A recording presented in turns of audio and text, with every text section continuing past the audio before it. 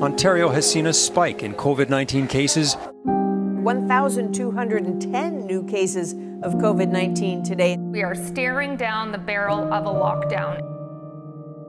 A spike in coronavirus cases had shut down hockey leagues. It's unknown when games against other teams can start. They say that absence makes the heart grow fonder. But we say absence makes the heart grow stronger.